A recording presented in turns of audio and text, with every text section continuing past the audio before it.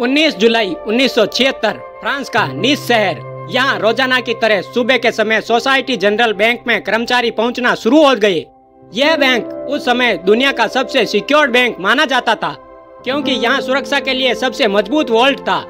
यही कारण था कि यहाँ चोरी होना लगभग नामुमकिन था। रोज यहाँ बैंक के वॉलेट को अनलॉक करके पहले दरवाज़ा खोला जाता, फिर उसके बाद कर्मचारी बैंक के अंदर जाते। उस दिन भी कर्मचारी बैंक के वॉलेट को खोलने की कोशिश करने लगे, लेकिन वो नहीं खुला। बता दे, इस वॉलेट का वज़न करीब 20 टन था। पहले भी कई बार इस दरवाजे को खोलने में दिक्कत आ चुकी थी। दरअसल, इसके अंदर का लॉक अक्सर जाम हो जाता था, जिसे वोल्ट बनाने वाली कंपनी की मदद से खुलवा लिया जाता था। उस दिन भी बैंक कर्मचारियों को लगा कि शायद इसका लॉक अंदर से जाम हो गया है। फिर उन्होंने दोबारा वोल्ट बनाने वाली कंपनी को इसकी सूचना दी। आधे ही घंटे के बाद कंपनी के एक्सपर्ट्स बैंक पहुँच गए उन्होंने इस दरवाजे को खोलने की कोशिश की, लेकिन हैरानी की बात यह थी कि इस बार उनसे भी यह दरवाज़ा नहीं खुला।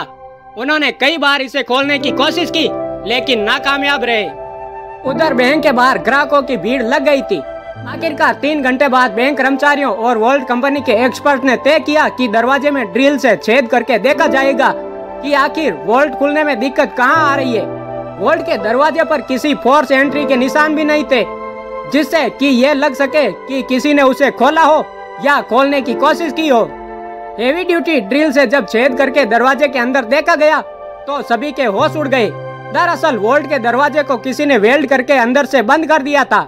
यह मंजर देखकर बैंक कर्मचारियों का हैरान होना लाजमी था, क्योंकि वोल्ट के दरवाजे के अंदर जाने का बस एक ही रास्ता था।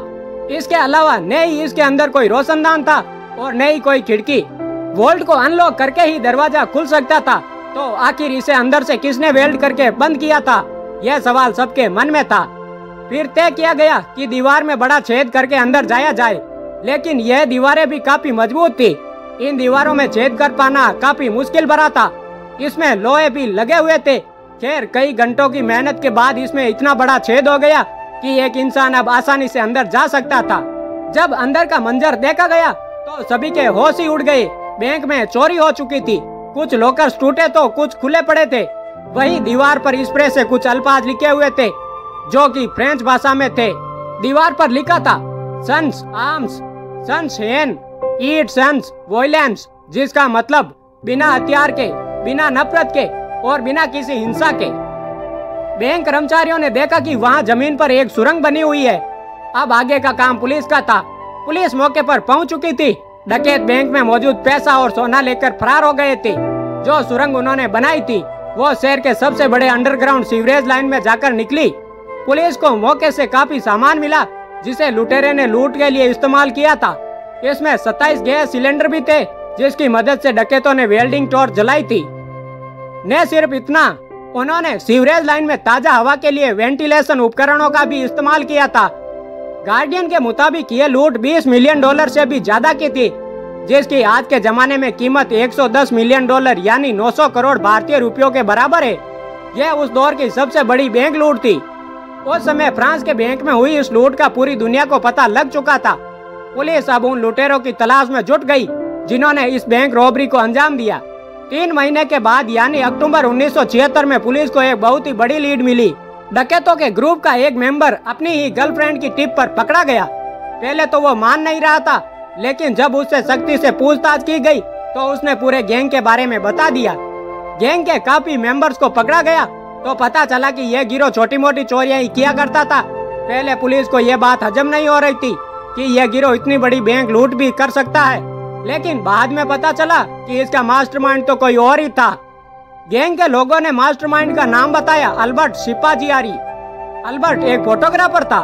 पुलिस ने जब इसे अरेस्ट किया तो उसने बिना किसी झिझक के ये कबूल कर लिया कि बैंक रॉबरी का मास्टरमाइंड वही है। अल्बर्ट ने बताया कि उसने पहले इस बैंक में लॉकर लिया था, फिर बहाने से वहाँ जाकर सारी चीज़ों की फ़ोटो खींच लिया करता था। उसने अपने ही लॉकर में एक अलार्म क्लॉक रखा, जिसका अलार्म रात के समय पर सेट कर दिया। जब अलार्म बजने से भी कोई अलर्ट नहीं हुआ और नहीं कोई सिक्योरिटी अलार्म बजा तो उसे कंफर्म हो गया कि वॉलेट में कोई सिक्योरिटी सिस्टम नहीं लगा है। फिर वह इंजीनियर के बेस में सिटी गवर्नमेंट के ऑफ़िस गया और वहाँ से शहर का नक्शा निकलवाया। इस मैप में सीवरेज लाइन कहाँ और कितना दूर है, इसका अंदाज़ा लगाया। फिर उसने कैलकुलेशन की तो पाया कि अगर वह सीवरेज लाइन में 26 फीट की टनल बनाए तो वह सीधा बैंक के अंदर निकल सकता है। इस काम के लिए बहुत ही मेहनत की ज़रूरत थी। लिहाजा अल्बर्ट ने इसके लिए शहर के गैंगस्टर से कांटेक्ट किया और उसे अपना प्लान बताया। उस गैंगस्टर ने अपने आदमियों को इस काम पर लगा दिया। टनल को खोदने के लिए दो महीनों का वक्त लग गया, क्योंकि यह काम बिना किसी मशीन के किया जा रहा था और इस काम को रात के समय ही किया जा सकता था।